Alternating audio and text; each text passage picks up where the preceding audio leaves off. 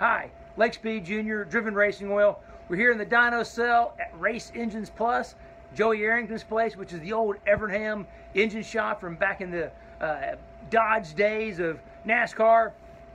But that is not a cup engine.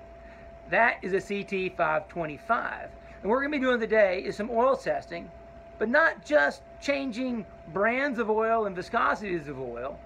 One of the things we want to look at is the amount of time it takes to get oil pressure when priming the engine after doing an oil change.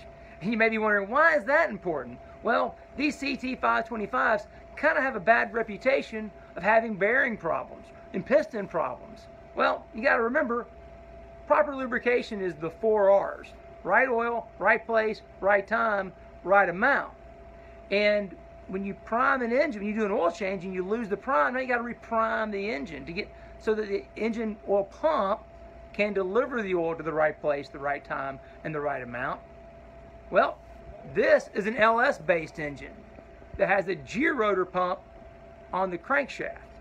A traditional small block Chevrolet has a spur gear style pump that's driven off of the distributor gear.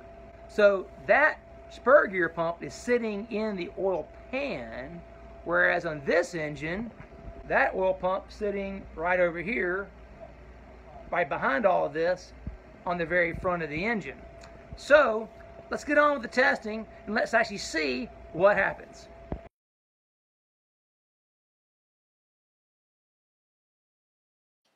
So we've completed an oil change with a fresh fill of synthetic 1550 motor oil. Now we're going to prime the engine by running the starter with the ignition turned off. As you can see, the engine speed is running about 180, 190 RPM, and we're going to see how long it takes for it to begin to build oil pressure.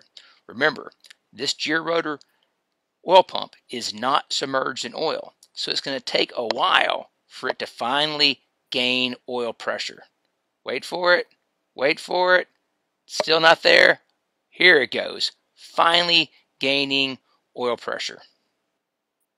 That took 27.23 seconds to gain oil pressure.